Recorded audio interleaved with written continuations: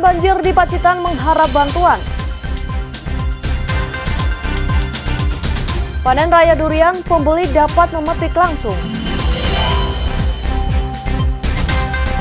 Kreasi batik rumahan penghasilan tambahan ibu rumah tangga.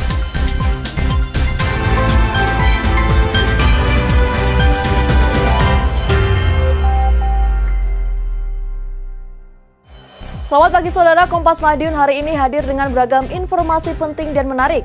Selain tiga sorotan tadi, kami juga akan ajak Anda untuk mengetahui pemberian gratifikasi yang dilarang oleh undang-undang yang akan kami sajikan dalam Kompas Madiun hari ini.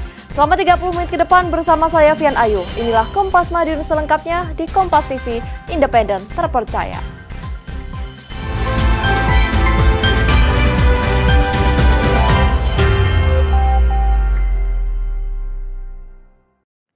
Saudara bencana banjir dan longsor yang menerjang hampir di seluruh wilayah Kabupaten Pacitan, Jawa Timur mengakibatkan sejumlah rumah rusak bahkan hancur.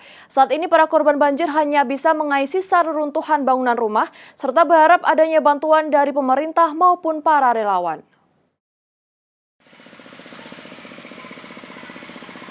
Banjir yang menerjang Kabupaten Pacitan, Jawa Timur beberapa hari lalu mengakibatkan sejumlah rumah rusak parah seperti di salah satu kawasan terdampak paling parah, yaitu Kelurahan Ploso, Kecamatan Pacitan, Kabupaten Pacitan, Jawa Timur.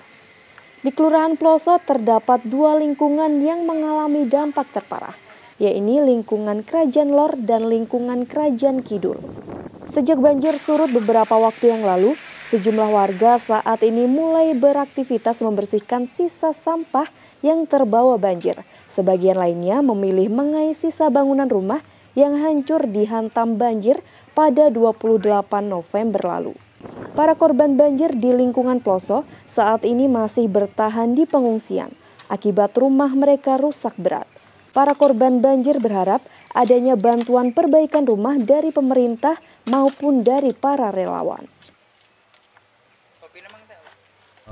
Sungainya meluap. Ya sebenarnya warga sini sudah berusaha untuk apa itu pakai sak pasir itu ditata di setiap tanggul tapi ternyata debit airnya itu terlalu banyak. Jadi akhirnya ya karena sudah meluap ya kita berusaha untuk untuk lari. Tapi ya cuman alhamdulillah cuman masih bisa selamat. Dan yang untuk barang-barangnya ya Ya seperti ini maksudnya. Ini. Jadi tempat kami di Turan Ploso itu dari delapan lingkungan yang terdampak dari bencana banjir itu uh, ada tujuh lingkungan. Jadi hampir 90% itu semua terkena terdampak dari uh, terdampak banjir. Namun yang paling parah itu ada di dua lingkungan, ya. yaitu di Kerajaan Lor dengan Kerajaan Kidul.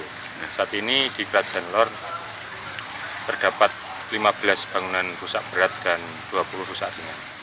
Selain membutuhkan bantuan perbaikan tempat tinggal, para korban terdampak banjir Pacitan saat ini juga sangat membutuhkan makanan dan pakaian. Tim Liputan Kompas TV Pacitan, Jawa Timur. Saudara empat korban meninggal yang tertimbun longsor di Desa Klesem, Kecamatan Kebunagung, Kabupaten Pacitan, Jawa Timur, Sabtu siang dimakamkan. Keempat korban sebelumnya ditemukan oleh tim SAR dalam keadaan terkumpul di bagian teras rumah.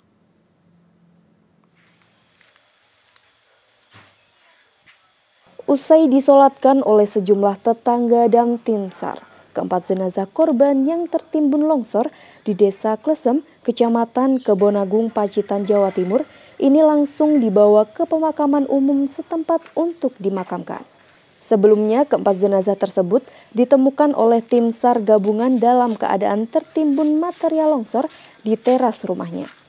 Keempatnya teridentifikasi masing-masing bernama Sukesi, Roza, Suparno, dan Kasih. Keempatnya satu keluarga yang terdiri dari anak, cucu, dan orang tua yang tidak sempat melarikan diri pada saat terjadi longsor pada 28 November lalu. Kira-kira di apa tempat emper kata orang Jawa. Di teras ya? Di teras. Itu berkumpul apa terpisah? Memang ber, kumpul kira-kira jarak satu apa kira-kira 30-an senti gitulah. Oh, 30 senti dari dari arah keluar. Keluar. Hmm. Jadi keempatnya itu berkumpul di teras itu. Iya. Terus eh, posisinya Pak? Posisinya dia itu telungkup pada yang eh, pokoknya saya sampai nggak bisa menengoknya karena saya juga menengoknya pun nggak tahan begitulah. Saat ini tim SAR dan gabungan para relawan terus melakukan upaya pemulihan terdampak banjir dan longsor yang terjadi di sejumlah wilayah di Kabupaten Pacitan. Tim Liputan Kompas TV Pacitan, Jawa Timur. Upaya pencarian terhadap sejumlah korban hilang tertimbun longsor di Pacitan, Jawa Timur hingga minggu siang terus dilakukan. Enam korban banjir dan longsor saat ini masih belum ditemukan. Luasnya area terdampak banjir dan longsor serta cuaca ekstrim menjadi kendala tim SAR gabungan dalam melakukan upaya pencarian.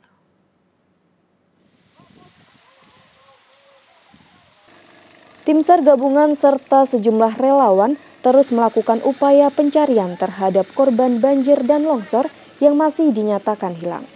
Salah satu pusat titik pencarian yaitu di Desa Klesem, Kecamatan Kebonagung dan Desa Sidomulyo untuk mencari korban tertimbun longsor.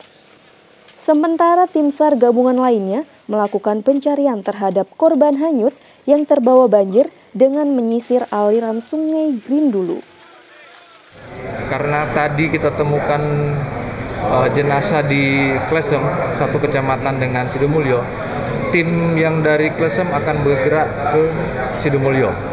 Sehingga kemungkinan ada empat kali jumlah yang semula untuk di Sidomulyo.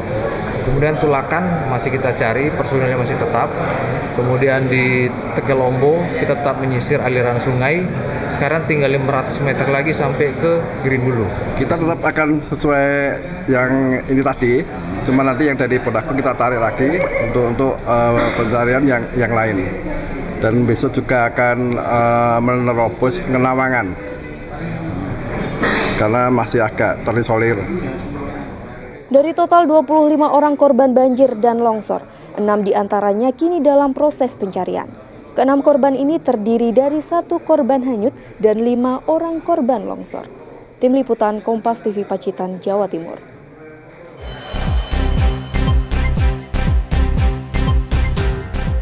Saudara kami akan kembali dengan perbincangan larangan pemberian hadiah atau gratifikasi yang dilarang oleh undang-undang.